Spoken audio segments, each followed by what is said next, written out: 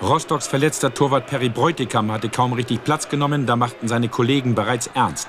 Blitzschnell und mit verwirrendem Kombinationsspiel.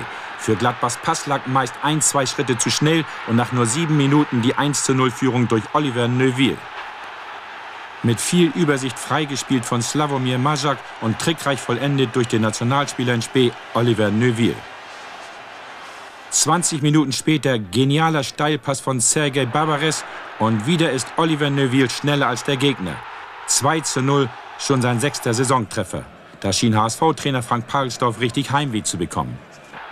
Gladbach ohne seinen verletzten Regisseur Stefan Effenberg harmlos im Gegensatz zu den Rostockern, die dem 3 zu 0 näher waren als die erschreckend schwachen Männer vom Bökelberg.